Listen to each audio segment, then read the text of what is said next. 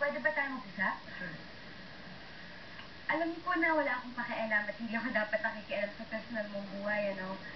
Kaya lang, si Luna kasi, ah, matali kong kaibigan eh. Malapit sa akin yung, yung taong yun.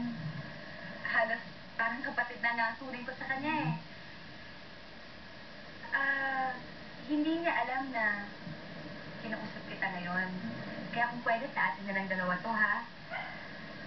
Wala pa talagang...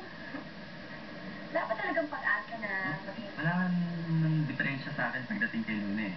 Para sa akin, maganda siya. Mabait. Maswerte ang lalaking mamahalin niya. Pero, hindi ako yun. Nagkataon lang na may iba na akong mahal. Bakit may, may naiwan ka bang girlfriend sa Manila? Wala. Ang totoo, ko pa siya until now.